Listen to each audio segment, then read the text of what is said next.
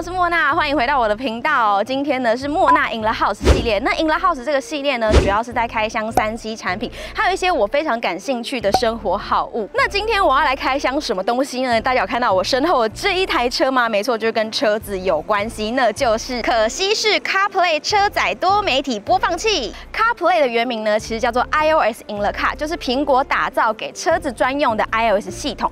那安卓阵营所使用的呢，就会是由 Google 所打造的 Android Auto。那其实这两个系统我都有用过，因为我前阵子是用 Pixel 手机嘛，我自己觉得体验上不会差很多。那一般在使用上面啊，就是你的手机连接到你的本身车子的车载系统之后，看你是拿 iPhone 还是拿安卓。你如果是拿 iPhone，那你连的就会是 CarPlay。那如果你拿的是安卓手机呢，就会使用的是 Android Auto。忘记在开场先跟大家说，这一支影片呢没有夜配，那真的是因为我有这个需求，所以我才买这个产品来试试看。这也不是一个非常非常新的产品了，很久以前就有了。好，那我身后这台车呢，就是今天的主角，是我妈的车子。然后这台车车龄已经十几年了，算是比较老一点点了。这台车本身也是有车载系统的，不过就是内建的导航，还有一些比较阳春的功能，它就没有办法做到像是 CarPlay 或是 Android Auto，它可以做到可能直接使用来拨打电话，或是使用语音助理，或是使用 Spotify 等等。那因为我妈她其实也比较不习惯使用她这台车本身的一个导航，所以她很常开车的时候呢，她就是拿她的手机，然后开 Google Map 来做使用，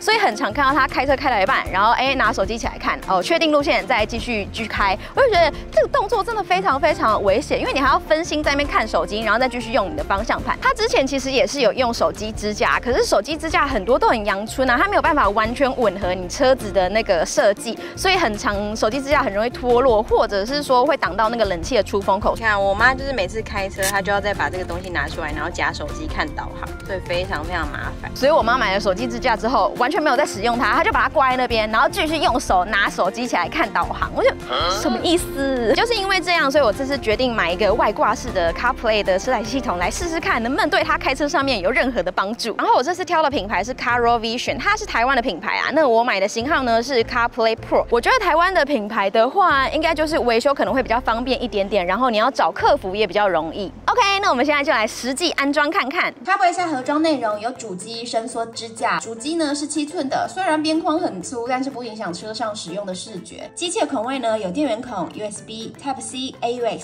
还有一个 AV in 的倒车显影。另外盒装还有保护卡、说明书跟玻璃垫片。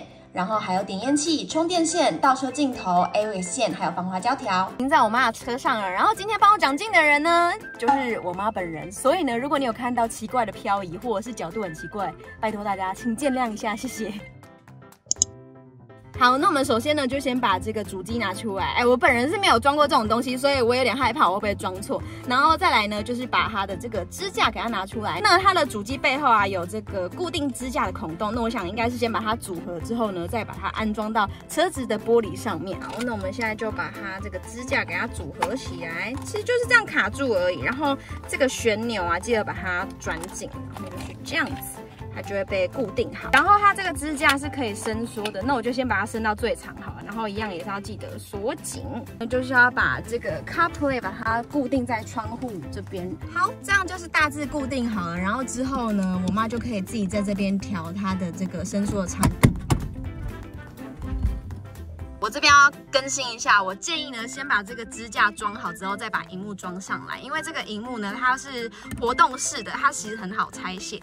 然后你固定好之后，你这个旋钮啊，记得要把它锁紧，不然它就会很容易掉下来。它是活动式的，所以你也很好把它拿起来，然后做擦拭、做清洁什么的。那我们现在就来实际开机使用看看。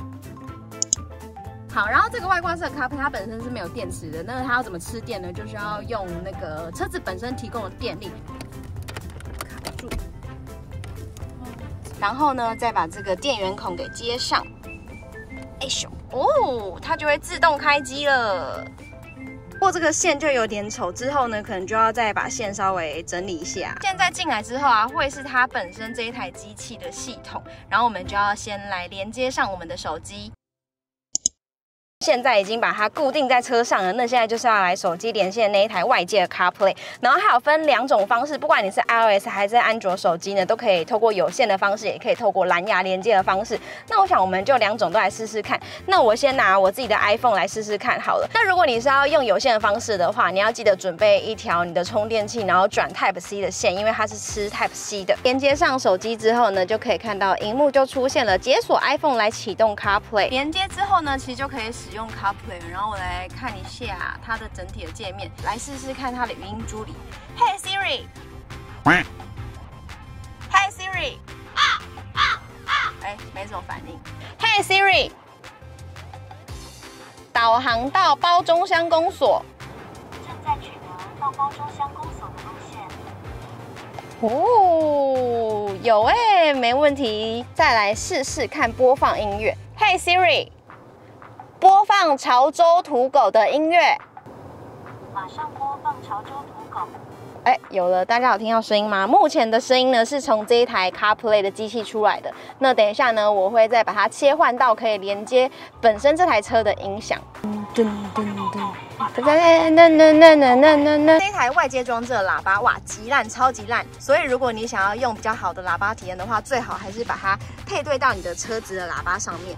然后你只要在你的这个 CarPlay 的调频呢，这边 FM 把它设定成八七点五，然后车子这边也同步设定到八七点五。到时候如果使用这一台播放 Spotify 的话，那它的 Spotify 音乐呢就会是从音响出来的。之后我妈就可以直接用这个车上调音量的这个按键来调音量，其实也是蛮方便的。Hi Siri，打电话给妈妈。正在拨打妈妈行动电话。哦，大家有听到吗？他正在拨打给我妈。接下来呢，我们来看看用蓝牙无线连接这一台外接的 CarPlay，看看看会不会也是可以正常做使用。先打你的手机里面找到蓝牙，然后看一下可不可以找到配对的机器。那我现在已经找到了这一台车的一个连线的装置名称，它叫做 DU 一零零零零。然后现在来连线，我觉得其实无线比有线方便一点点，因为如果有线你的线坏掉的话，其实就会很长，就是没办法正常使用 CarPlay。那如果可以直接透过蓝牙连接的话，就也不用在那边烦那些。线材哪天突然坏掉，所以我觉得我自己会比较喜欢那种无线连接。好了，已经有了这边，那我就按下配对。蓝牙的部分也没问题哦。我现在手机呢是透过蓝牙跟这一台装置做连接的。这一台 CarPlay 它的这个操作的滑顺度没有到非常非常好，但是比起我妈这种旧车的这一种塑胶的面板，它是直接完全不能够滑的，只能透过按键来做操作。这个还是方便非常多。好的，那我现在已经测试完毕了，现在要让我妈来试试看，因为我妈自己本身用的是三星的手机，她刚好就可以示范 Android Auto 的部分，那我也可以确认一下她有没有学起来。那有学起来的话，她之后遇到问题，她就可以自己来做操作。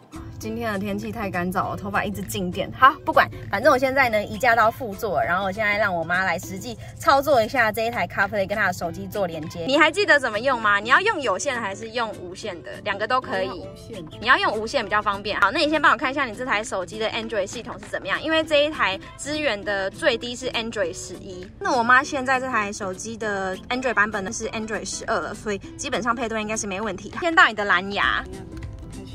你要找到一个叫做 U 一零零的设备，看 D U 一零零零零，好，选那个，没错没错，那个，你以后就要记得，你都要选那个。好，然后你现在已经连接到你的手机了，你帮我按那个确定，你就让它允许储存你的联络人，这样你之后才可以直接打电话给我们。哦，OK，那你来用用看。OK，Google，不要去保中派出所。虽然没有很准确，它出现的是湖尾警察局，但是的确是派出所。那你要记得，你要念大声一点点，因为你的装置离比较远，而且还我觉得它的那个喇叭比较没有那么好。我跟你讲，如果你之后要叫你的语音助理，如果你念了它都没反应，你就这边长按也可以。OK，Google，打电话给女儿。有，他这边呢已经有在帮你打电话了。然后我觉得它跟那个 iOS 比起来，它的界面就比较。更简洁一点点，简洁到你可能没办法马上看到资讯。按首页，好，然后这边就会有其他东西，就会有地图啊，然后 podcast，然后这边就是拨打电话。打电话你可以这样，像你刚刚刚有打给我嘛，对不对啊？本名直接露出来，赶快用电话。反正如果你找不到要怎么回去，你都是都按那一颗。对，都按这一颗。好，那我现在就请我妈导航到一个她想去的地方。那待会再来问她，就是她的这个使用的心得是什么？你要导航去哪里？OK Google 导航到包中国小。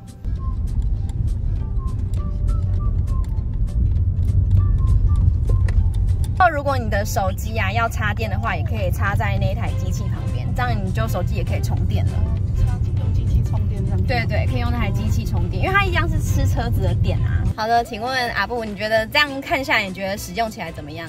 使用起来那个感觉是，嗯、觉得跟看手机，手机的感觉就是荧幕太小了，然后有信息进来的话，它就、嗯这样它就会变缩小。啊，现在是刚好这样子看的话，就是比较不会危险。你也知道、我知道，我知道啊你。最好知道啦，你每次都边开开车用手机，明明就有。